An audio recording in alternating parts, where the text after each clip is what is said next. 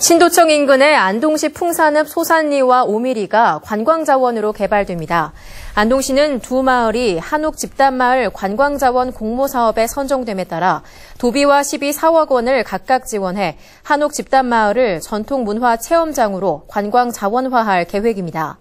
소산마을은 500년 된 안동 김씨의 새거지로 청원로와 청구정 등 7개의 문화재와 역동재와 홍문 등 2개의 향토 유산이 있으며 오미마을 역시 풍산 김씨의 발상지로 10여 개의 문화재와 향토 유산이 있습니다.